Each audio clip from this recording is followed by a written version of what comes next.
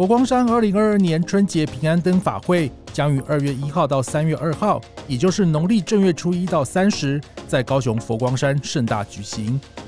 今年以佛光山开山星云大师题写的“处世无畏，和平共存”为主轴，共分为四大灯会主题。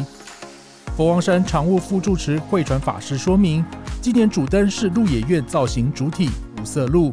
鹿王的故事展现佛教的慈悲与智慧。并以此化解危机，与处世五味和平共存精神相呼应。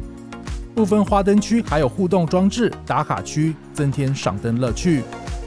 过年期间，大年初一到初五晚上，还会在佛光山大雄宝殿举行吉星高照、无人机高空灯光献礼，并在初一与初三晚上进行线上直播。而佛光山佛陀纪念馆部分，馆长如常法师表示，佛馆春节活动有三大亮点。包括光照大千祈福活动、票选佛馆十大镇馆之宝、艺文展演，这么精彩丰富的活动内容，将会是国人在过年期间出游的最佳选择。人间福报李生凤高雄报道。